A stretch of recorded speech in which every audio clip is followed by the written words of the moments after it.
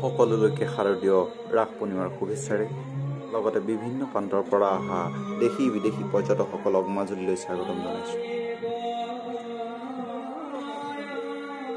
সত্যভূমি বুকুচাত এতিয়া ৰাসৰ লীলা।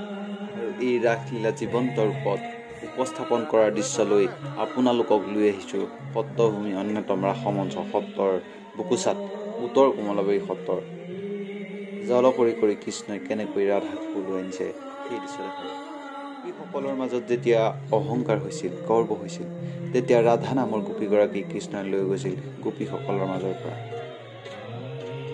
এয়াই আপোনালোকক দেখাইছোঁ জীৱন্ত ৰূপত উত্তৰ কমলাবাৰী সত্ৰৰ মহাৰাসৰ এটি দৃশ্য। এয়া নৌকা বিহাৰ।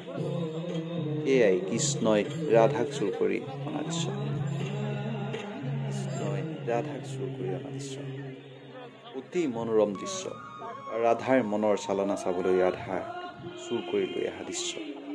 এয়াই যেন ৰাস এয়াই যেন কৃষ্ণলীলা এয়াই যেন কৃষ্ণৰ বাহিষ্যৰ ধ্বনি।